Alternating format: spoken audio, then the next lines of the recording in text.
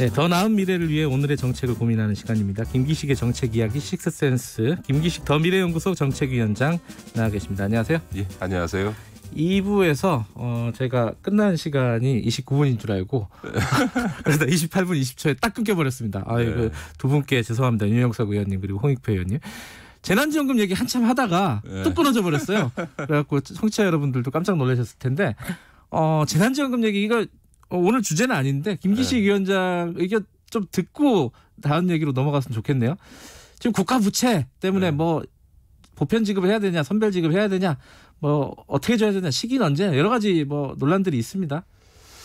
예, 우리나라 국가 부채 비율이 비해서 양호한 거는 사실이죠. 그건 사실이고. 그러나, 그러나 어, 우리가 좀 잘 봐야 되는 게 자꾸 40% 얘기합니다만 이미 이제 우리 그 국가 부채 비율이 한 45% 정도 네. 됐고 앞으로 2024년 정도 되면 이미 50%를 넘어가게 돼 있다라고 음. 하는 건 전제를 해야 될 것 같고요. 그래도 어, EU의 재정 건전성 기준인 60%에 비하면 아직은 여력이 있으니까 네. 우리가 이런 코로나 같은 재난 상황에서는 빚을 더 내더라도 네. 일정하게 적극적으로 재정적 대처를 하는 건 맞습니다. 그러나 이제 이재명 지사가 이제 뭐 100번, 30만 원씩 100번을 더 줘도 상관없다라고 하는데 사실은 앞서 뭐 윤영석 의원도 얘기했듯이 그러면 이제 1,500조면 거의 우리나라 GDP에 육박하는 음. 비율이 되고 그렇게 되면 아마 이그 선진국의 국가 부채 비율조차도 넘어가는 수준이 되는 거죠. 물론 이제 이재명 지사가 그거는 이제 뭐 실제로 그렇게 하자기보다는 우리 아직 예. 재정 여력이 충분하다 예. 이런 취지로 얘기한 건 예. 이해는 됩니다만 예. 이게 뭐 저 같은 사람이나 정치 평론가나 학자가 그런 정도 얘기하는 건 상관이 없는데 대권 1, 2위를 다투는 그 정치 지도자가 그렇게 표현하는 거는 저는 적절하지는 않다. 왜냐하면 이게 말의 무게가 일반적인 이제 학자나 이제 그 일개 의원이 하는 얘기하고는 차원이 다르기 때문에 어쨌든 강조하려고 하더라도 조금 네. 표현은 적절치 않았다 이렇게 좀 보여지고요. 그 선별이냐 뭐 보편이냐라고 하는 문제는 사실은 이제 뭐 기본소득 논의에서 시작된 건데 앞서 홍익표 의원도 지적했던 것처럼 이건 재난지원금이니까 음. 당연히 이번 코로나19로 인해서 소득 감소가 없고 어려움이 없는 분들한테까지 줘야 될 이유는 없는 거죠. 더구나 이렇게 빚내서 줘야 되는 이런 상황이라면 당연히 가장 이 코로나19로 인해서 직격탄을 맞고 있는 우리 자영업자들 또 일자리 잃어버린 비정규직들 이런 분들에 집중해서 그와 관련해서는 이미 여러 가지 그 통계도 나와 있으니까 또 대상도 특정돼 있고 하니까 이런 분들한테 우선적으로 줘야 되는 것 같고요. 또 하나는 지금 코로나 상황이 이게 지금 조기에 진정될지 상당히 오래 음. 갈지도 지금 불확실하고 최근에 와서는 이러는 급속한 확산세는 좀 진정된다 하더라도 코로나19 상황 자체는 내년까지 계속 연장될 가능성이 네. 상당히 높다. 뭐 내후년 얘기도 하고요. 네, 그렇죠. 네. 그렇게 되면 이제 정부가 쓸 수 있는 수단이 재정 수단밖에 없으니까 네. 앞으로도 계속적인 재정적 수요가 생겨날 수 있기 때문에 예. 어뭐 지금 급하다고 해서 또 빚을 왕창 내서 어, 줬다가 다 계속 이 상황이 음. 어려워지면 점점 점점 정부가 이제는 정책 수단을 잃어버리게 되거든요. 더 이상 쓸 수 없는 상황이 예. 오게 되니까 조금 이제 정부에 그나마 빚을 낼 수 있는 능력조차도 조금은 여유를 갖고 가는 게 좋겠다. 저는 그렇게 음. 생각합니다. 이제 아까 홍익표 의원님 말씀도 그렇고 김기식 위원장 말씀도 이게 뭔가 대상이 특정이 됐다 지금까지 이제 좀 데이터들도 쌓여 네, 네, 있고 네, 네, 피해 상황이 오래됐기 네, 때문에 네, 근데 그럼에도 불구하고 혼란이 있지 않을까? 왜 쟤는 주고 나는 안 줘? 예를 들어 피해를 100만 원 피해는 주고 뭐 120, 80만 원 피해는 안그 주고 이게 좀 복잡하지 않겠냐? 그, 그런 정도로까지 구분할 필요는 없을 것 같고요. 잘 네. 돌이켜 보시면 네. 서울시하고 경남도에서 중위소득 그러니까 전국의 50% 정도 주겠다라고 음. 했을 때 별로 논란이 없었거든요. 왜냐하면 네. 뭐 나는 많은 중산층들이 나는 뭐 그 정도는 아니야라고 음. 했는데 이게 70% 얘기가 나오면서부터 어 내가 70%에 안 든단 말이야. 음흠. 내가 상위 30%야 그러면서 어 쟤는 주는데 왜 나는 안 줘? 이렇게 돼 버린 거거든요. 그런 네. 점에서 보면 저는 뭐 50% 이하 선에서 어, 지급 대상을 선정하게 되면 음. 국민들께서도 그래 좀 어려운 분들한테 음. 내가 받을 돈을 차라리 그분들한테 좀 더 주더라도 네. 어뭐 그 정도는 괜찮아라고 저는 충분히 수용할 수 있는 우리나라 국민들의 이 공동체 의식이라는 게 음. 전 세계적으로 보면 가장 뛰어난 분들 중에 한 분이죠. 알겠습니다. 어, 오늘 주제가 아니었기 때문에 요, 요까지만 듣고 아, 다 네, 원래 네, 주제로 네. 좀 넘어가겠습니다.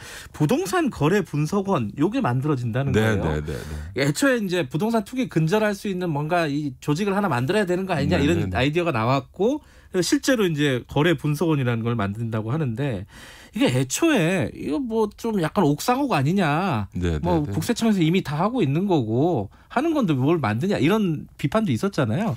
어떻게 보세요? 예, 그런 비판을 고려해서 아마 그, 어, 금융 부동산 거래 분석원 음. 형태로 이제 만드는 것 같습니다. 왜냐하면 음. 이제 부동산에 관한 규제는 나 이제 정책의 수단이라는 거는 국토부라든가 지방자치단체, 국세청 등이 네네. 갖고 있는 거니까 그건 전제하고 네. 다만 이제 그, 부동산 거래 내용들을 분석해서 음. 문제가 있는 경우에 해당 기관에 이첩하는 기관을 만들겠다는 거거든요. 그러니까 음. 이게 뭐냐면 우리나라 지금 주택 보급률이 100%를 넘어가고 있어요. 지금 104%, 105%이 정도 되는데 자가 비율은 60%가 안 됩니다. 음. 그 근데 이제 다주택자 비율이 한 16% 가까이 되거든요. 그 얘기는 무슨 얘기냐면 한 16%의 그 다주택자들의 주택의 한 60%를 갖고 있다는 얘기거든요. 그러니까 네.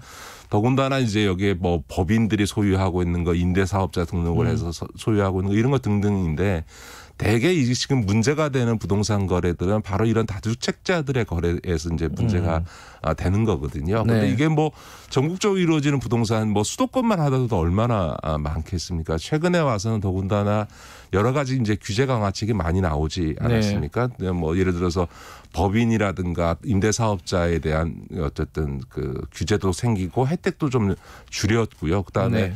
부동산 거래를 할 때 매매를 할 경우에는 이제 자금 출처도 이제 신고하도록 되어 있는 등 이제 제도가 바뀌었으면 그 제도가 제대로 어 작동하고 있는지 또 이제 투기적인 요소에 의한 어떤 부동산 거래는 없는지 또 세금은 음. 제대로 내고 있는지 또 이제 지금은 이제 그 이 보유세 강화가 되다 보니까 이제 한집 이상 네.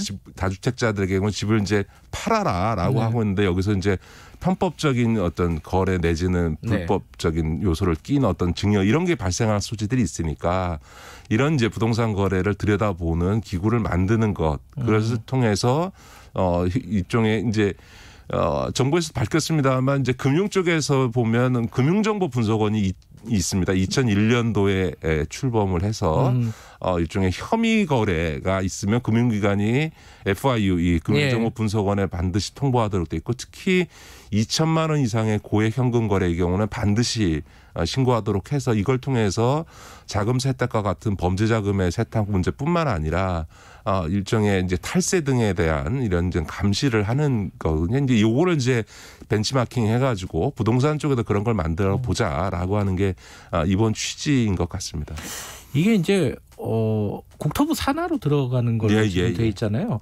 좀 독립된 기구로 해야 되는 거 아니냐. 어차피 이거는 이제 좀 조사를 하고 일종의 준 사정 기관에 가까울 것 같다. 뭐 이런 의견들도 일부 있는데 이건 적절하다고 보십니까? 저는 뭐 국토부 산하에 두는 건 나쁘지 않다고 생각합니다. 음. 왜냐하면 이게 이제 금융정보 분석원도 금융위 산하에 네, 예. 있거든요. 왜냐하면 민감한 국민의 개인 정보를 네. 취, 더군다나 취급하는 정도가 아니라 취합해야 되거든요. 모아 서 해야 되니까 정보라는 건 모일수록 위험해지는 음. 거니까 그것에 있어서의 어떤 공적 책임을 분명히 해야 되니까 민간 독립기구로 만드는 방식은 적절하지 않는 음. 것 같고요. 왜냐하면 정보를 취합하는 기구니까 음. 그런 점에서는 어, 어, 어떤 부처 산하에 둬야 되는데 지금 현재로서는 국토부 산하에 두는 게 네. 어, 적절하다. 다만 어, 이게 이제 그 분석을 해서 실제적인 조치를 조사에 들어가서 조치를 하는 거는 국세청이라든가 또 이제 부동산 이제 등기 신고를 받게 되는 음. 이제 그 법원뿐만 아니라 이제 지방자치단체들이 이제 네. 신고를 받게 돼 있지 않습니까? 그 그거에 따라서 취득세, 등록세 등 부과를 하고 돼 있으니까 결국은 이제 의심이 갔을 때 그걸 실제로 조사해서 조치를 취하는 거는 국세청이나 이런 이제 관련 기관에게 이첩시키는 역할들로 음. 해야 되는 거죠. 그런 점에서는 그 업무 협조 관계에 대해서 법에 명확히 명해야 되고 또 하나는 이게 이제 관료들이 뭔 일이 있으면 이제 조직 크게 만들어서 자리 만드는 예, 예. 일들을 많이 하는데 이게 어또또 또 다시 어쨌든 어 경제부처 관료들의 자리 만들기 용으로 예. 이용되고 있다라는 비판을 받지 않으려면 굉장히 효율적으로 해서 적절한 규모를 만들어줄 필요가 있다. 왜냐하면 사실은 이 부동산 거래와 관련된 많은 부분들을 지방자치단체나 구세청이 이미 하고 있기 때문에 네. 어, 중요한 거는 이거를 종합적으로 분석해서 어, 혐의가 있을 경우에 어떤 문제가 있을 경우에 이첩시키는 역할이니까 그에 맞는 적절한 정도의 어떤 조직과 인력을 음. 어, 구축하는 게 맞겠다. 저는 그렇게 봅니다. 네, 지금 이제 시작 단계니까 논의가 국회에서 좀 더 진행이 되겠죠. 그렇죠. 그렇죠? 입법이 음. 필요한 사안이니까 입법하는 네. 과정에서 어, 그 조직을 어떻게 운영하고 어떤 권한을 갖고 관련 기관 간은 어떤 어, 협력 체제를 구축할 거냐 이런 것 등등이 다 세부적으로 논의가 되겠죠. 알겠습니다. 어, 이게 앞에 어, 재난지원금 얘기하다가 시간이 좀 많이 갔네요. 삼성 얘기 좀 해야 되는데 네. 이또 삼성 전문가시니까 네.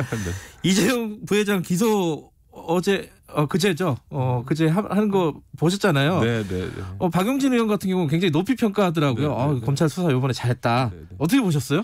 시기가 늦어진 거는 좀 아쉽긴 합니다만 음, 1년 9개월 걸렸죠. 네, 1년 네. 9개월이나 걸렸기 때문에 그러나 뭐 당연한 결과라고 생각하고요. 사실은 이게 이렇게 늦어진 것 중에 하나는 이 수사를 담당했던 이복현 부장을 포함한 그, 그 경제범죄 형사고 네. 인력들이 작년 9월 달에 갑자기 그 조국 전 장관 수사에 차출되면서 거의 음. 그 12월까지 이그 삼성 바이오로스 수사가 중단돼 버렸습니다. 아, 그래서 길어졌군요. 예, 그 뒤에 이제 다시 시작하려고 하다 보니까 이게 이제 수사라는 게 한 번 중단됐다 다시 시작하려면 시간이 좀 걸리잖아요. 그렇죠? 그런 점에서는 이렇게 사건 처리가 지연된 부분들은 이제 검찰 수사 자초한 부분이 있고 마지막에는 난데없는 수사심의위원회가 나타나서 삼성이 그 제도를 적극적으로 활용했고 네네. 그 삼성의 기대대로 여기가 이제 수사 중단 불기소 결정을 하면서 마지막 또 2개월 동안을 이게 결정하지 못하는 이런 상황들이 있었던 거죠. 수사심의위원회 권고를 결국은 어, 뒤집은 거잖아요, 사실은. 네네. 네, 이제 뭐, 뭐 표면적으로 보면은 네. 이 수사심의위원회 이거 어떻게 해야 될지. 네, 이거는 전면적으로 이번에 아마 국회에서 재검토를 해서 그 음. 그 뭔가 개선책을 마련해야 되는 것 같습니다. 음. 그 사실은 이제 제가 금융감독 원장으로 있으면서 이제 이 바이오로이스의 분식 회계를 결정을 했었는데요. 금융감독원 차원에서도 제재심의위원회라고 하는 회계 문제나 법률 문제 의 전문가들로 구성된 외부 민간 위원들이 참여한 위원회 구조에서 이걸 결정을 하고요. 그게 결정을 한다고 최종 결정되는 게 아니라 다시 금융위원회의 증권선물위원회 가서 우리나라 최고의 이, 이 저기 회계 문제 음. 전문가들이 모여서 이걸 논의해 가지고 결정하거든요. 그 6개월의 과정이 굉장히 감론을박이 많았고요. 네. 분식회계는 맞지만 이게 어, 중과실이냐 고의냐를 갖고도 굉장히 논란이 있었지만 결국 수차례에 걸친 수십 시간이 넘는 회의를 통해서도 분식회 그것도 고의적인 분식회계다라는 결론을 내렸거든요. 근데 음. 수사심의위원회 회계 전문가도 아닌 분들이 모여서 한 두 시간 보고받고 몇 시간 회의에서 이거를 어, 수사가 음. 부당하다 이런 결론을 내린다는 것 자체가 난센스고요. 어불성설이라고 저는 보여지고 음. 검찰 입장에서는 이미 영장을 청구하는 결정을 할 때부터 이미 사법 처리는 결정돼 있었다고 봐야 되고요. 음. 더구나 판사가 영장은 기각했지만 범죄 혐의의 사실관계는 소명이 되고 네. 증거도 다수 확보됐다. 아니 판사가 증거도 다수 확보됐고 범죄관계 사실관계도 다 소명됐다고 하는데 기소하지 않는 이런 황당한 결정을 검찰로서는 할 수 없었다라고 봐야죠. 근데 어쨌든 삼성 쪽에서는 어 이재용 부회장이 그 지시하거나 보고받지 않았다 얘기를 네. 하고 있고 어, 무리하게 수사해서 어, 일, 처음부터 목적, 목표를 정해놓고 네. 무리한 수사를 한 것이다라고 했단 말이에요. 전 이거와 관련해서 우리 국민들께서 재벌 총수가 기소돼서 무죄 난 일은 한 번도 없습니다. 그 얘기는 무슨 얘기냐면 어, 재벌 총수를 기소해서 무죄가 났을 때 그럼 검찰에 대해서 쏟아질 비난 지금 기소하는 것만으로도 검찰에 대해서 지금 보수 언론이나 경제지에서 이렇게 음. 비난을 하는데 무죄가 나는 상황이 되면 검찰이 견딜 수가 없죠. 그만큼 음. 검찰이 저별 총수를 기소할 때는 자신이 있는 거죠. 그것에 합당한 음. 만큼의 물적 증거나 진술이 확보되지 않고는 네. 기소하는 일을 하지 않습니다. 그래서 사실은 삼성에서 무리하게 검찰 수사 단계에도 공격적으로 검찰 수사를 비판하면서 여론을 만들면서 수사심의원회 이런 것들을 한 것도 결국은 기소되면 유죄될 거다라고 하는 걸 알고 있는 거죠. 음, 삼성 어떡하냐 이제 이재용 부회장 발목이 잡혔다. 네. 서초동에 잘 발목이 잡혔다. 삼성 이제 큰일 났다. 이렇게 얘기하는 사람들은 어떻게 지금까지 우리나라 재벌 총수 중에서 저기 사법 처리되지 않았던 사람이 없습니다. 그러니까 속된 말로 별 없는 정과 음. 없는 음. 재벌 총수가 하나도 없고요. 구속됐던 전례들도 많죠. 뭐 현대자동차 정문구 음. 회장, SK의 최태원 회장, 뭐 하나의 김승현 회장 등등 다 구속된 졌었는데요. 그 구속된 기간 동안에 오히려 주가는 올랐고 회사의 실적이 나빠졌다라는 기업은 단 하나도 본 적이 없습니다. 더군다나 이재용 부회장의 경우에는 구속된 것도 아닌 상태에서 어 뭐 재판을 받는 것만으로 회사의 경영에 영향을 미칠 거다 이렇게 전혀 보지 않고요. 오히려 삼성전자의 뛰어난 전문 경영인들이 소신 있게 어, 기업을 경영할 수 있게 해주는 것이 이재용 부회장에게도 지금은 필요한 시기다. 예. 어, 자기를 옹이하면서 자기의 불법적인 경영 승계 작업을 진행하는 것 때문에 권력을 행사해 왔던 이 미전실이라고 하는 조직과 그 인력, 그 과거로부터 내려온 관행을 이제 끊어내는 게 본인을 음. 위해서나 삼성을 위해서 더 오히려 좋다.